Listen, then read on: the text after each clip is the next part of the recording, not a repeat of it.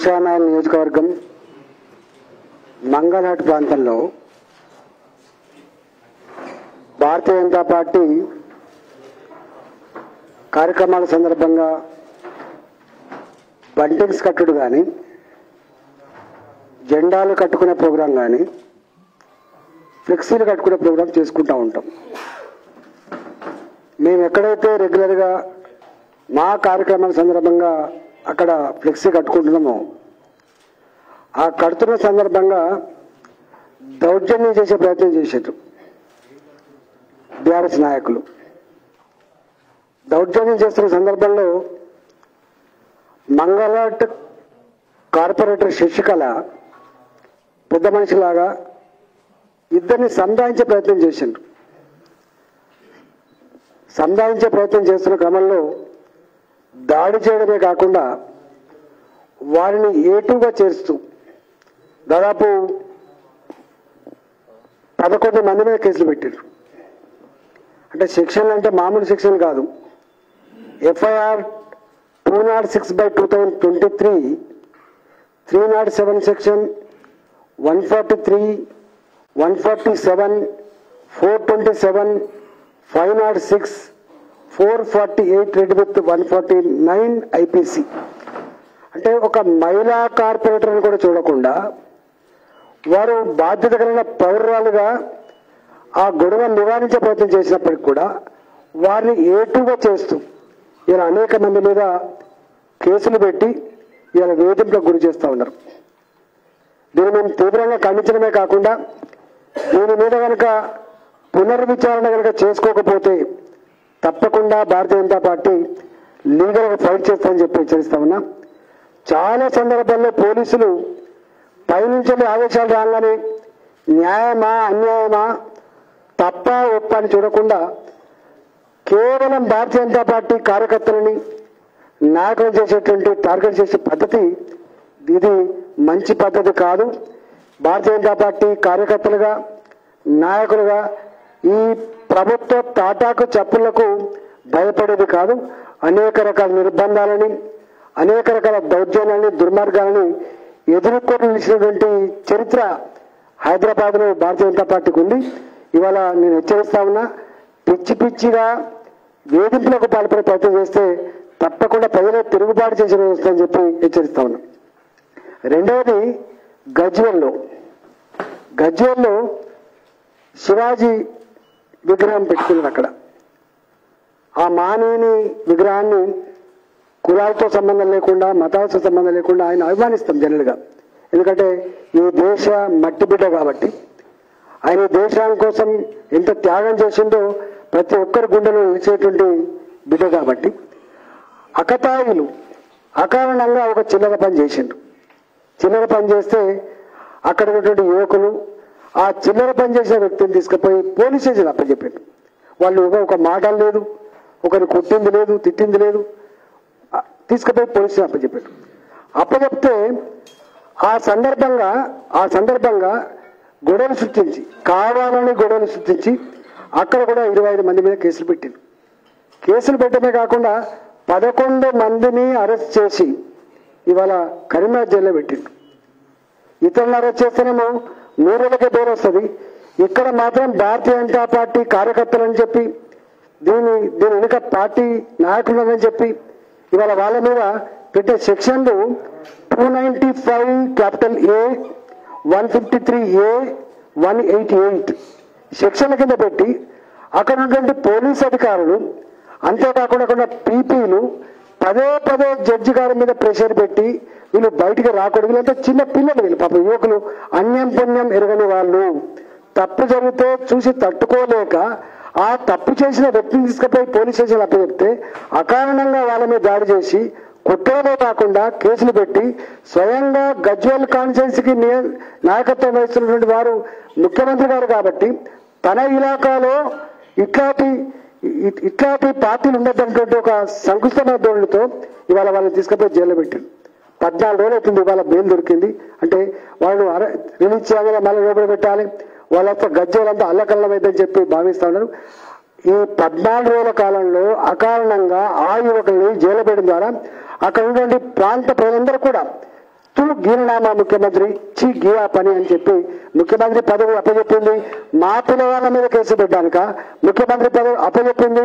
మా పిల్లవాళ్ళని జైలు పెట్టడానికి అని చెప్పి ఇలా అసహించుకునే పరిస్థితి కనపడతా ఉంది. అంతేకాకుండా మనం చూస్తా ఉన్నాం ఇవాళ హైదరాబాద్ నగరం ల్యాండ్ ఆర్డర్ నిలయమయ్యే చెప్తున్నారు. ఇవాళ ల్యాండ్ ఆర్డర్ నిలయంగా లేదు.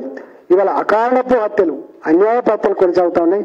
బడంగపేట మీరిపేటలో మీరిపేటలో చాకుతో కూడా చంపారు పాపం. సాయి ప్రసాద్ అనేటువంటి పిల్లవాడు ఆయన చదువుకున్న పిల్లవాడు కానిస్టేబుల్ ఎగ్జామ్ రాత్రి సెలెక్ట్ కూడా అయిండు. ఇలా ఆ సెలక్షన్ ఉన్నాడు ఆయన పిల్లవాడు అకారణంగా పొడి చంపారు అంతేకాదు అదే నియోజకవర్గంలో బడంగపేట అనేటువంటి ప్రాంతంలో మా వాళ్ళు ఆల్రెడీ బండింగ్స్ కట్టుకున్నారు జెండాలు కట్టుకున్నారు.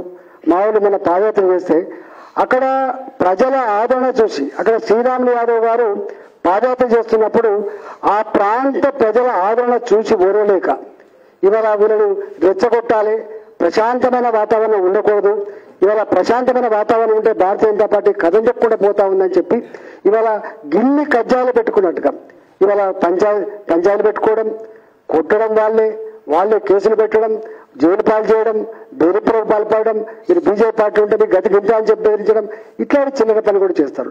నేను అంతకుముందు కూడా మా ఉదయబాబు చేసాం మా సర్పంచ్ మహేందర్ మీద మా సర్పంచ్ మహేందర్ని అకారణంగా తీసుకొచ్చి అంటే ఎన్నికల్లో ఆనాటి బీఆర్ఎస్ పార్టీ టీఆర్ఎస్ పార్టీ నాయకుల ప్రలోభాలకు నిలవకపోతే నిటారుగా నిలబడి ఇలా పార్టీని గెలిపించుకునేటువంటి ఆ మహేందర్ సర్పంచ్ మీద తీసుకుపోయి పోలీస్ స్టేషన్లు పెట్టి ఇవాళ కొట్టుకుంటా ఆ కొట్టిన దెబ్బల సప్పుడు కానీ ఆ కొట్టిన సన్నివేశాన్ని సెల్ ఫోన్లో బంధించి ఇవాళ బయటికి పంపించినటువంటి నికృష్టమైన పని ప- ప్రయత్నం. అంతేకాకుండా ఆ సర్పంచ్ని కూడా తెల్లారితో బయలుదేరాల్సిన సర్పంచ్ గారు అకారణంగా కొట్టినటువంటి సర్పంచ్ గారి మీదనే ఇవాళ నాన్ బెయిల్ కేసులు పెట్టి పద్నాలుగు రోజుల పాటు రిమాండ్ పదిహేడు రోజుల పాటు రిమాండ్లో పెట్టుకొని ఇలా మళ్ళీ కోర్టు ద్వారా మేము బెయిల్ తెచ్చుకున్నాం. అంటే ఇట్లా రాష్ట్ర వ్యాప్తంగా రాష్ట్ర వ్యాప్తంగా భారతీయ జనతా పార్టీ కార్యకర్తల మీద నాయకుల మీద ఇలాంటి చిల్లర వేషాలకు పాల్పడుతున్నారు. నేను అంటున్నా ఇది ఇది పూర్వకాలం ఎప్పుడు బలవంతుడు ఇట్లాంటి చిల్లర పని చేయడు. బలహీన పడ్డప్పుడు మాత్రమే డెస్పరేటెడ్గా అసహనంతో చేసేటువంటి ఇవన్నీ తప్ప ఇది నిలబడదు కాదు. ఖచ్చితంగా రాబోయే కాలంలో ఆరు నూరైనా భారత్ ఈ బీఆర్ఎస్ పార్టీ ప్రజల నుంచే దూరం అయిపోయింది తప్ప మళ్ళీ గెలిచే ప్రసక్తి లేదు. ఇవాళ మా మీద ఇంత జరుగుతుందంటే ఇవాళ భారతీయ జనతా పార్టీ శాపకంద నీరులాగా ప్రజాక్షేత్రంలో ప్రజల ప్రేమను పొందగలుగుతా ఉంది. ప్రజల మద్దతు పొందగలుగుతుందంటే ఉంటుంది కాబట్టి ఇట్లాంటి ప్రయత్నం చేస్తాను. నేను ఒకటే ఈ ప్రభుత్వాన్ని హెచ్చరిస్తా ఉన్నా. పోలీసులు కూడా నేను డిమాండ్ చేస్తా ఉన్నా. మీరు రాజభక్తి అంటే రాజుకు భక్తుల్లాగా వివరించే ప్రయత్నం చేయకండి. చట్టాన్ని లోబడి సిస్టాన్ని లోబడి పనిచేసే ప్రయత్నం చేయాలని చెప్పి నేను పోలీసులకు కూడా సూచన చేస్తా ఉన్నా.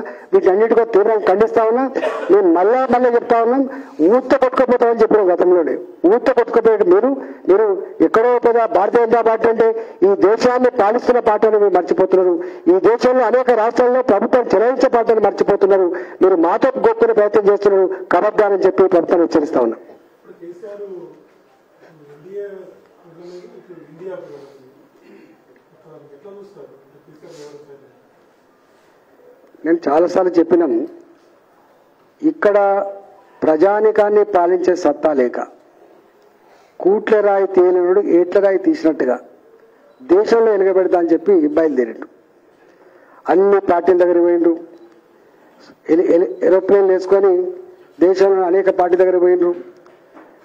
అనేక మంది కన్విన్స్ చేసామని చెప్పిండ్రు. నేనే ఈ మొత్తం కూటమికి నాయకత్వం వహిస్తా అని చెప్పిండు నన్ను కనుక నాయకుడిగా ఎన్నుకుంటే మొత్తం ఫండింగ్ అంతా కూడా నేనే చేస్తా అని చెప్పి చెప్పిండు. కానీ ఇవాళ అర్థమైపోయింది ఆయనకు దేశంలో. ఓ ఎక్కడ మద్దతు లేక ఆదరణ లేక చివరికి తానే ఐసోలేట్ అయ్యే పరిస్థితి వచ్చింది. నా వీళ్ళు నమ్మని పరిస్థితి వచ్చింది నా వాళ్ళు నమ్మని పరిస్థితి వచ్చింది చివరికి తెలంగాణ పేరు కూడా నమ్మని పరిస్థితి వచ్చింది. ఎటుకాని రొంటజగ రేవడిలాగా మిగిలిన పార్టీ అలా బీఆర్ఎస్ పార్టీ ఇలా అందుకనే ఎగిసి పడద్దు ఎప్పుడు కూడా. పైసలు ఉండగానే గిట్లంత అధికారం రాగానే నిలిచిపడ్డట్టుగా ఉంటే గిట్లే ఉంటది. ఇవాళ ఎటు కాకుండా మిగిలిపోయి ప్రజలతో తిరస్కరి తిరస్కరించబడుతున్న నాయకుడు కేసీఆర్.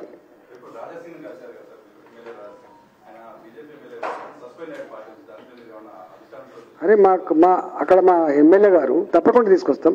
రాజాసింగ్ గారి ఇష్యూ రాజాసింగ్ గారు కాన్స్టిట్యూన్సీ కాబట్టి అక్కడ కార్యకర్తలు ముప్పై ఏళ్ళుగా నలభై ఏళ్ళుగా అనేక త్యాగాలు చేసి నిలబడ్డ వాళ్ళు కాబట్టి వాళ్ళకు మేము మోరల్గా మద్దతు ఉండాలి కాబట్టి వారిని అడిగి ఆ మొత్తం మా ప్రెసిడెంట్ పాండు గారు కూడా ఉన్నారు అక్కడ.